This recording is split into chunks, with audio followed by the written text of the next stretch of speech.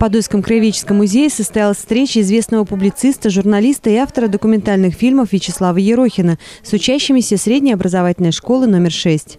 В год литературы и в канун 70-летия Великой Победы разговор приобрел особое актуальное звучание. Насколько правдива подача истории нашей страны, кому выгодно формировать сознание жителей России в том или ином направлении, и как современной молодежи не утонуть в потоке информации и суметь отличить правду от откровенной лжи. Вот многие ученые поняли, что без нравственности невозможно не только социальная жизнь, то есть жизнь человеческая, но невозможно даже экономика, невозможно даже, так сказать, физические процессы многие без нравственности нравственности. Вы посмотрите, рыночные отношения, они полностью убили нравственность. Человек человеку враг стал. Начальник и подчиненный – это совершенно разные категории. Подчиненные между собой враждуют, кто кого там пересидит, переплюнет, пере, перешагнет через чью-то голову. Раньше такого не было. Было понятие трудовой коллектив, сейчас его практически нет. Было понятие рабочий, сейчас его нету понятия рабочий и так далее. Вячеслав Ерохин – подольчанин, учился в третьей школе, затем окончил МГУ имени Ломоносова. Результат его многолетней творческой биографии – десятки документальных фильмов об истории России, репортажи на острые политические темы, публикации в популярных столичных изданиях, сборники стихов, книги. Предваряя просмотр документального фильма «Сталин. Разгром пятой колонны», Вячеслав Ерохин, сценарист данного фильма, подчеркнул, «Мы живем в облаке мифов и общепринятых штампов.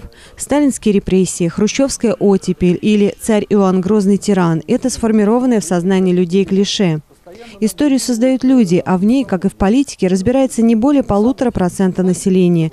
И чтобы не стать биомассой, сознанием которой пытаются управлять, необходимо использовать принцип методологического анализа. Был такой у нас замечательный политик, юрист Виктор Иванович Илюхин, который занимался Катынским делом, многими другими делами, бывал в архивах, смотрел в том числе особую папку по Катыни, где масса поддельных э, документов, просто откровенно поддельных. И э, Илюхин незадолго до смерти сказал, верить нашим архивам можно уже с трудом.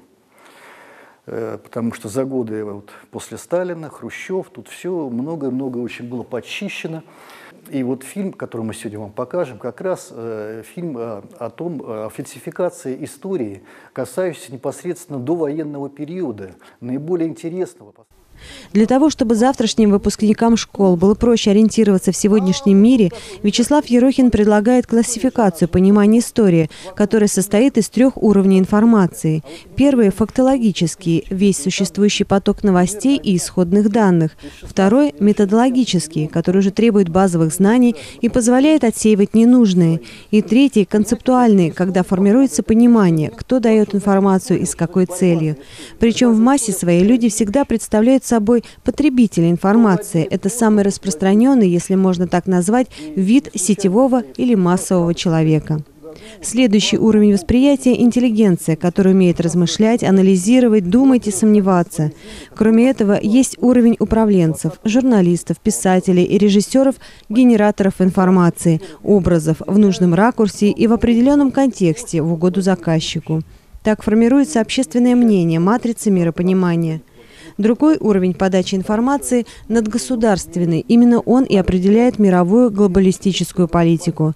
А вот останется ли после нас онтологический уровень – наследие, которое сформирует вектор дальнейшего развития общества, нации?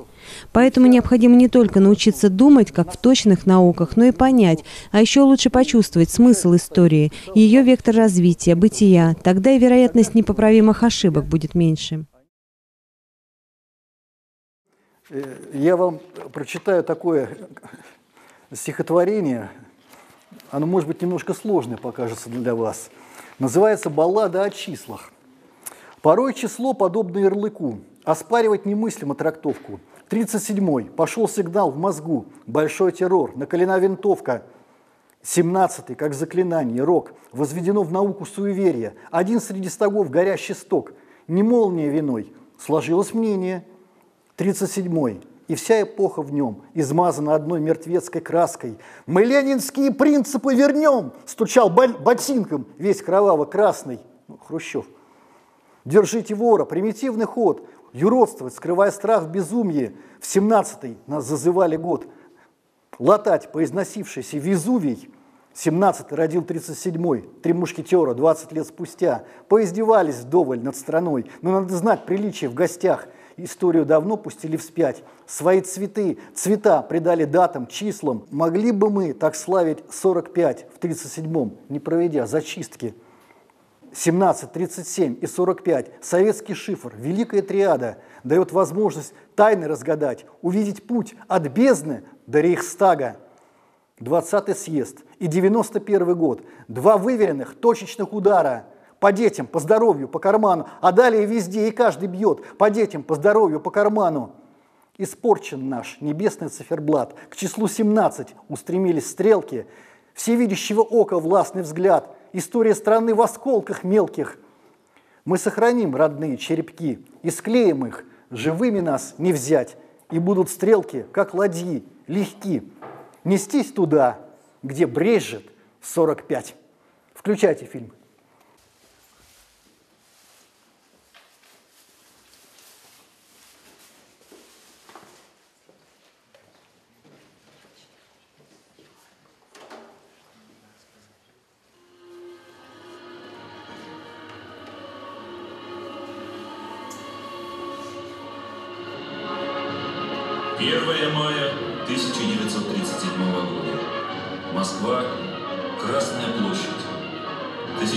Стремились на трибуну Мавзолея, где с минуты на минуту должен был появиться человек, с чьим именем люди связывают свои многочисленные победы и достижения последних лет.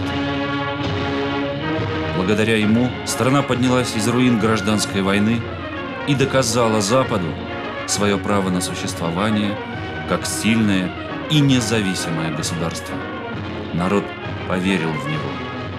И сегодня – Здесь все советские люди переживали гордость за него, своего вождя, и свою великую и могучую родину. Но только избранные знали, какое смятение царило в этот момент на правительственных трибунах. Прошел слух, что вот-вот будет взорван мавзолей. В зловещем, мрачном молчании застыли у его подножия маршалы Тухачевский, Егоров и комиссар первого ранга Гамарник, организаторы военного заговора. Они отложили захват власти, и теперь, виня себя за малодушие медлительность, ничего изменить уже не могли. Сразу после завершения парада заговорщики спешно покинули Красную площадь. В рядах их сторонников возникла паника и тревога. Только он, вождь, как обычно, был невозмутим и спокоен. Он уже знал о планах военных и принял все необходимые меры.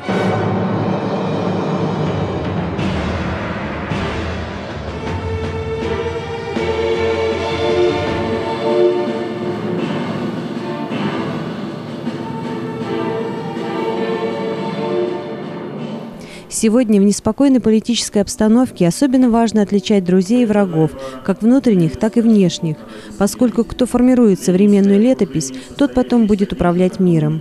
И как будут написаны строки истории чьей рукой, так будут жить грядущие поколения. Будем надеяться, что Вячеславу Ерохину удалось донести эту мысль до старшеклассников. Открытый урок в Краеведческом музее для них, быть может, и показался несколько необычным или сложным, но то, что это была полезная встреча, безусловно. Настоящая история, она не так правдоподобна, как нам излагают, и большинство фактов, большинство э, самой истории просто пытаются как-то стереть, искажают саму историю. Как все-таки Сталин приходил к власти, это для нас такая была некой тайной небольшой. Сейчас это показали мне открытым текстом, это очень интересно. И ты понимаешь, насколько было трудно ему каких-то моментов. И ну, интересно, в общем-то. Сегодня мне рассказали такую хорошую, я не знаю, как это назвать, цитату или пословицу, кто владеет прошлым, тот и будет владеть будущим. И, на мой взгляд, это правдиво и доказано. То есть это действительно так. Если ты хорошо разбираешься в истории, ты никогда не допустишь тех ошибок, которые совершал кто-то в прошлом, и не допустишь их в будущем. То есть, владея прошлым, мы будем владеть будущим. Пока это песни и даже напевы, пока это просто стихи. Но я вижу день русского гнева День кары за ваши грехи. И мы не святые, и мы виноваты Но мы не предали страну. В семнадцатом, тридцать седьмом, сорок пятом Мы скупили вину